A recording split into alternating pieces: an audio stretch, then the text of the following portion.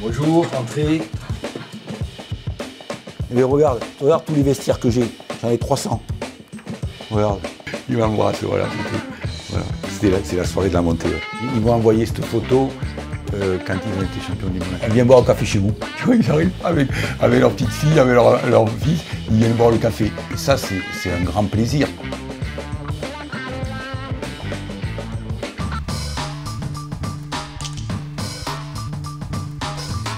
Très sincèrement, c'est très spontané et naturel. Euh, ce qui est très très important, c'est de ne pas avoir une gouvernance et un travail des ressources humaines comme on pouvait l'avoir euh, au XXe siècle.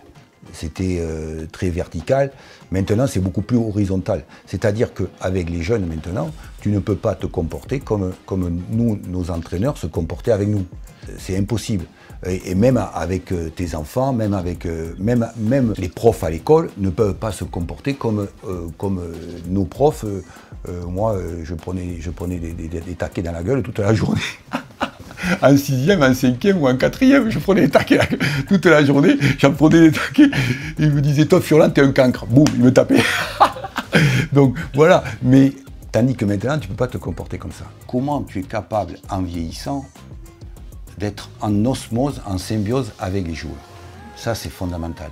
Tu ne peux pas critiquer les joueurs en groupe, comme on le faisait au XXe siècle, comme nos entraîneurs le faisaient avec nous. Si c'est possible de, juger un joueur, de le critiquer, tu le feras en individuel. Et là, il accepte.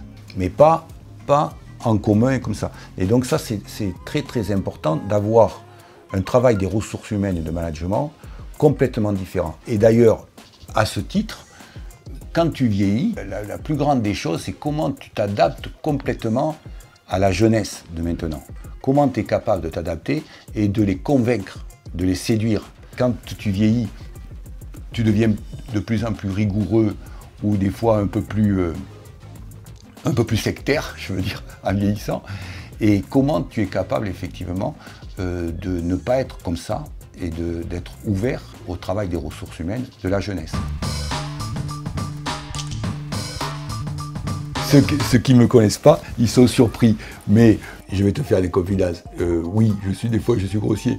Je, je, leur dis, euh, vous êtes tous des petits bâtards, par exemple. Mais ils rient, ils rient tous. Tu vois ce que je veux dire? Alors, c'est comme euh, une fois, je passe dans le vestiaire et Mathias Autrette, il crie, il, me crie, il me dit, Mathias, il dit, ouais, coach, vous nous insultez toute la journée, mais on s'en fout parce que vous, on sait que vous nous aimez. voilà, c'est tout. On s'en fout parce qu'on sait que vous nous aimez. Alors, c'est vrai que quand je suis sur le, terrain, parfois, si, le mec il est là depuis un mois ou deux, ça va, le choquer, tu vois. Mais au bout de six mois ou huit mois, il dit voilà, ça va, il est margeau, il, voilà, il est, c'est pas forcément quelque chose de radical et de violent. C'est comme si un peu comme mon papa était maçon et, euh, il était entrepreneur de maçonnerie. Et euh, bon, mais sur le chantier, quand j'allais faire, faire le, manœuvre, eh des fois je me, fais, je faisais engueuler, je me faisais insulter. Mais bon, c'était rigolo, voilà, c'est tout, tu vois ce que je veux dire. C'est pas juste des grossièretés violentes pour, euh, pénaliser le, le joueur, absolument pas, absolument pas.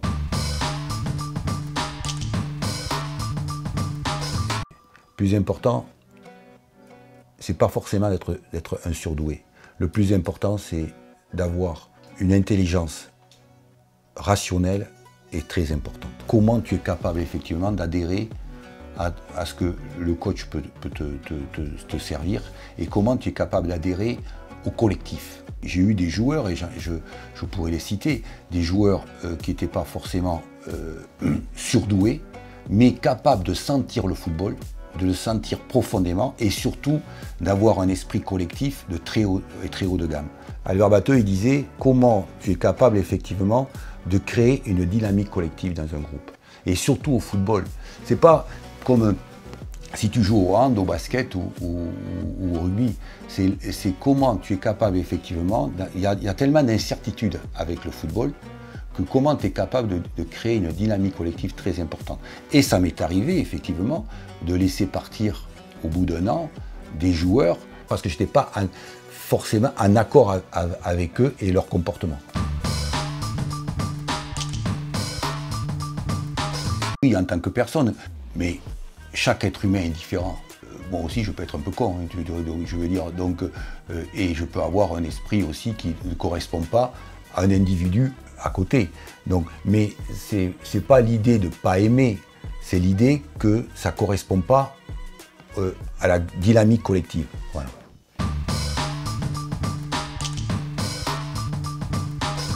très sincèrement, je suis plutôt paternaliste. Avec Gauthier je lui dis, écoute, tu peux dribbler mon grand.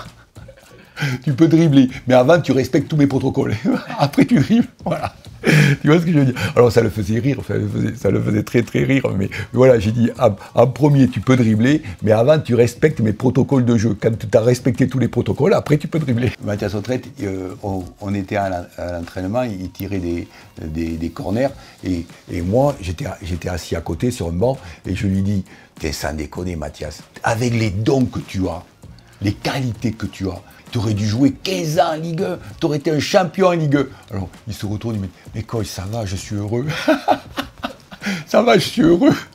Et, ben, parce que, moi, tu vois, parce qu'il y, a des, y a des joueurs qui ont, des, euh, comme Mathilde Autrette, comme j'ai eu Birama Touré aussi, qui a, fait des, trucs extraordinaires. Et ils ont fait leur carrière. Ils ont fait de très belles carrières, sans, aucun doute. Mais euh, quelque part, tu te dis, par rapport aux dons spécifiques qu'il a, te dis, pourquoi il n'a pas joué 15 ans ou 20 ans en, Ligue 1, tu vois ce que je veux dire? Et, Mais ça, c'est beaucoup lié à l'esprit de compétition que tu peux avoir. Parce que, tu vois, nous, dans le football, c'est pas comme dans un sport individuel. Dans un sport individuel, tu, vas, tu vas, choisir des gens qui, ont un esprit de compétition de très haut niveau.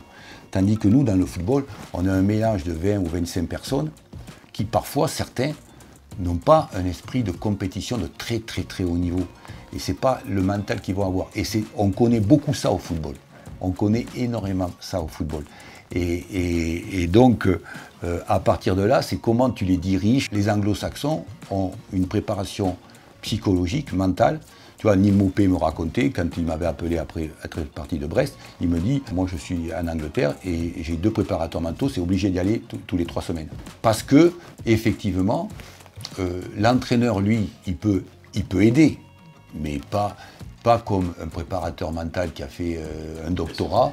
Un doctorat et 15 ans ou 12 ans de, profession, c'est pas, pas du tout pareil. Ça m'est euh, souvent arrivé que des joueurs avaient des problèmes et qui viennent se confier à toi. Et, donc ça, c'est très, très, intéressant parce que...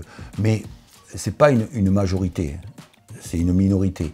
Et y en a certains qui ont, les capacités, effectivement, de se confier, de se confier au coach, euh, parce que c'est un manager, parce que, voilà. Et, comment, après, tu, dans, ce domaine-là, comment tu peux l'aider?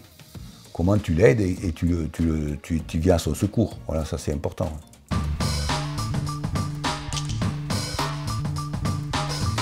Quand euh, j'ai été licencié, le euh, 15 octobre, Gauthier m'a envoyé une très longue lettre et qui était merveilleuse. Euh, qui était merveilleuse parce que il, était, c'était très touchant. Très touchant par rapport à ce que je lui avais apporté. Et ça, ça m'a fait beaucoup plaisir. C'est comme Gaëtan Bello quand, il était à Brest. Euh, et aussi, je l'ai vécu avec Benjamin Nivet, euh, qui était fantastique parce que Benjamin Nivet nous a invités au restaurant avec ma femme. Et il est arrivé, il a dit voilà, j'offre deux maillots à mon papa et à vous et il m'a fait un courrier euh, d'amour. un courrier que j'ai là, que j'ai là, tu vois, que j'ai là, il m'a fait un, courrier d'amour. C'est assez fantastique. C'est pas seulement les rapports que tu peux avoir avec les joueurs, c'est aussi ce que tu peux leur apporter sur le plan footballistique, sur le plan technico-tactique.